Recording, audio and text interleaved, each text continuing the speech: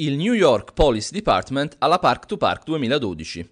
La tradizionale sfida sui 10 km in programma domenica 13 con partenza alle 9 sul lungomare Caracciolo si arricchisce dunque nel segno del gemellaggio Italia-Stati Uniti con la partecipazione della polizia newyorkese accanto alle forze armate italiane.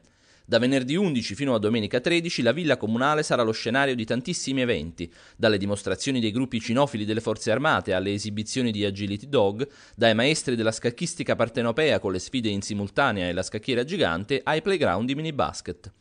Si esibiranno inoltre la fanfara dei carabinieri e della banda dei vigili del fuoco insieme al vocalist della Nato che eseguiranno gli inni nazionali. Questa è una bellissima iniziativa tutto il fine settimana, in particolare domenica una gara podistica tra Napoli e New York con la rappresentanza anche delle nostre istituzioni locali, dall'esercito, dall'arma dei carabinieri, la Guardia di Finanza e la Polizia, un'iniziativa importante sul lungomare liberato, parteciperanno mille persone nella corsa, più tantissime altre che saranno per strada, abbiamo tantissime richieste eh, verso Napoli, vogliono fare tutti molte cose nella nostra città, in particolare sul lungomare, questo è un segnale molto molto incoraggiante.